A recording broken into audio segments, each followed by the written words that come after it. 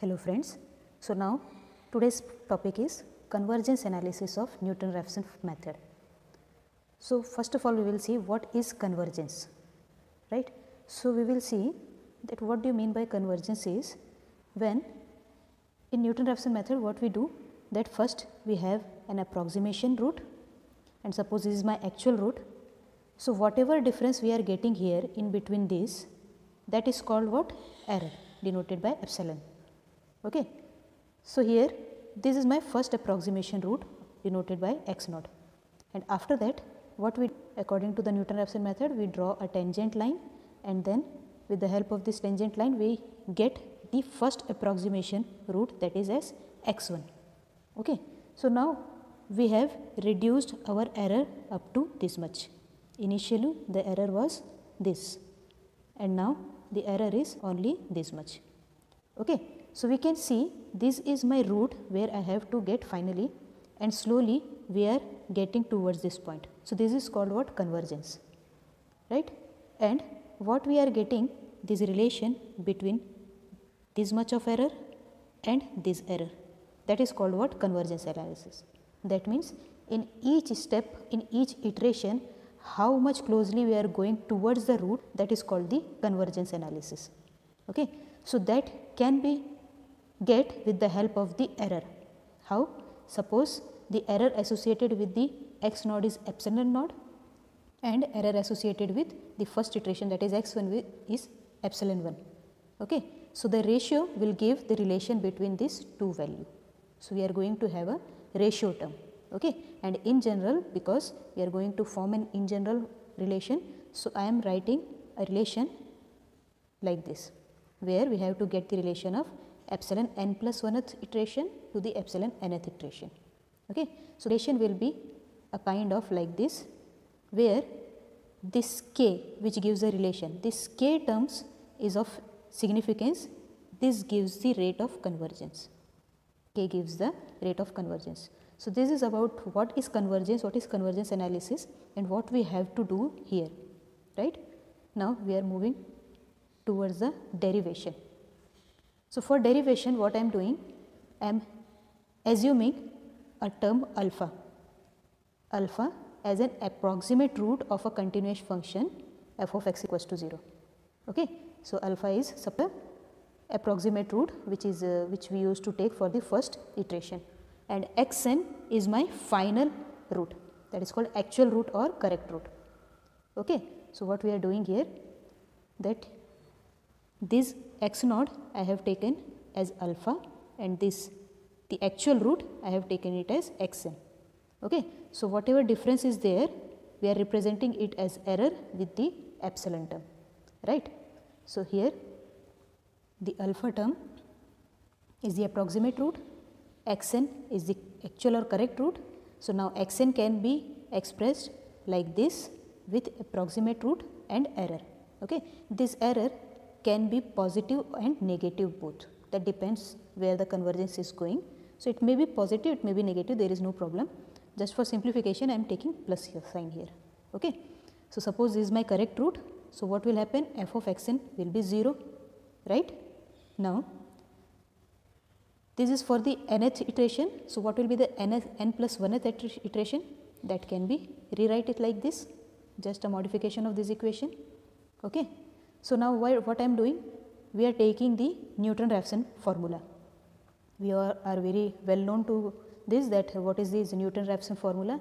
If you want to take the what is the Newton-Raphson formula and how to derive, derive it, what is its graphical interpretation, then you can go and watch the graphical representation video of Newton-Raphson method.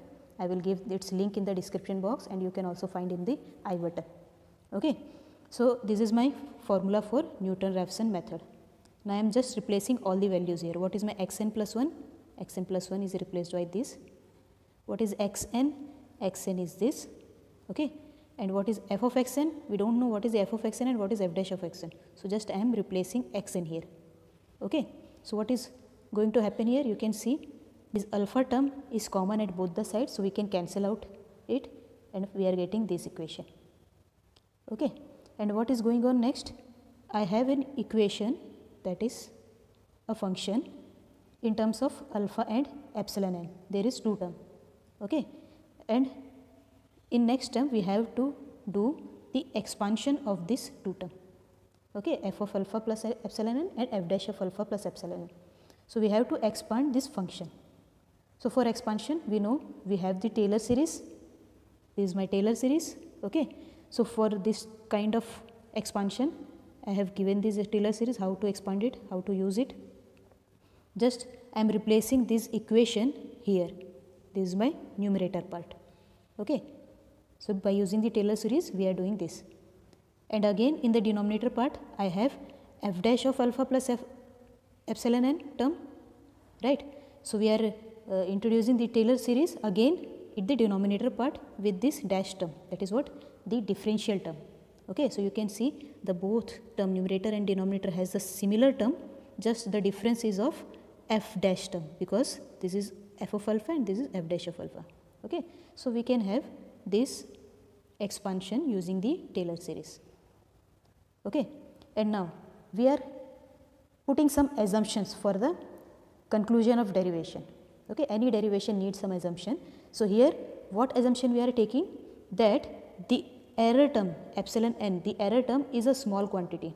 We have already seen that in uh, numericals of numer uh, Newton-Raphson method that error in each step is very less and that is why we are getting the final answer in just 3 or 4 iteration right. So, the er error is the associated error is a small quantity. If error is a small quantity obviously we know that error is always less than 100 percent okay it is always less than 100 percent that means it may be 0.5 it may be 0.2.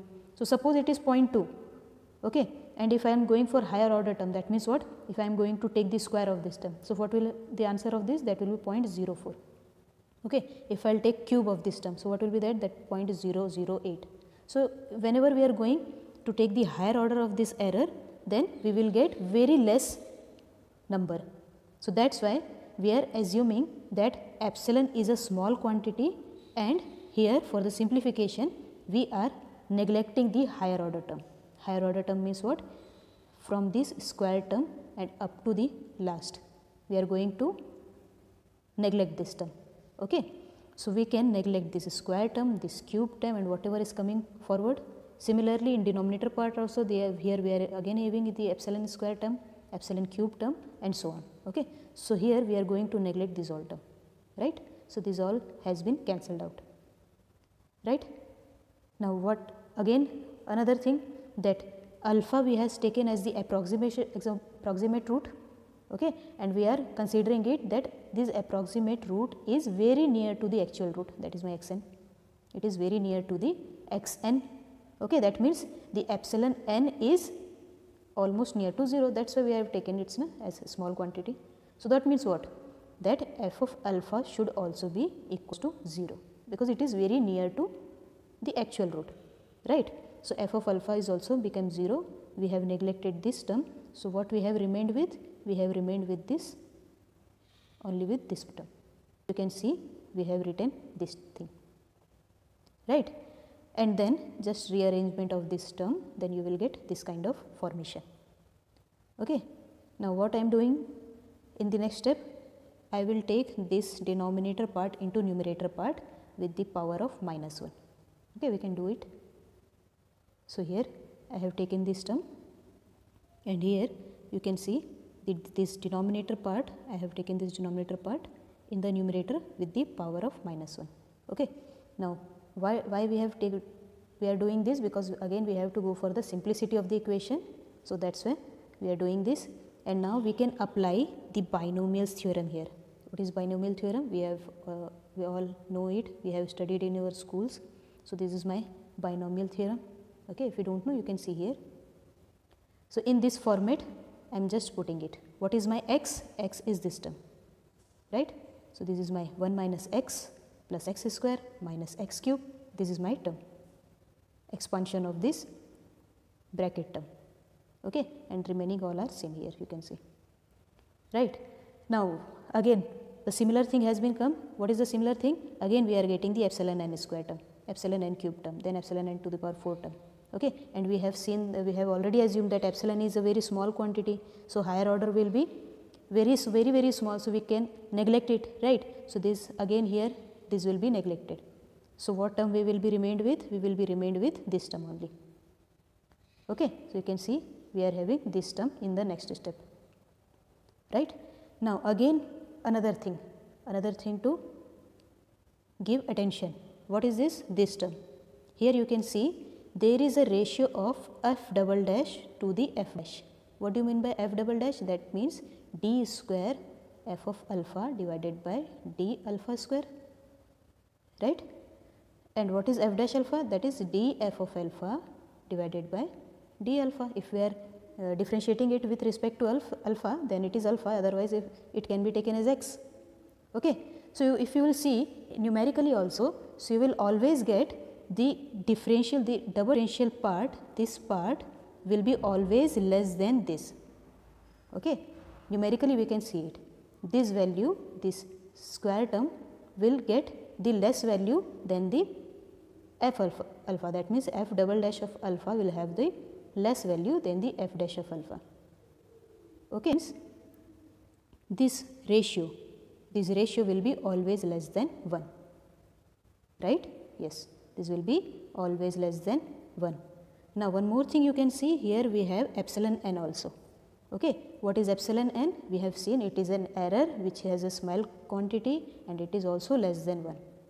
So, when we are going to have product of these two term, first term is this epsilon and second term is this ratio and both quantity is less than 1. Okay. So, the product will be very very less than 1, right. How? The product of 0.8 into 0.1 will be what? 0.08 that means very less. In the similar fashion we can say this product will be very very less than 1. Okay. That means again we can neglect it because here we are getting the relation with the 1 minus and this product. Okay. So, again we are going to neglect this term. So, how? So, what is the remain term? We are having only this term. So, you can see here right.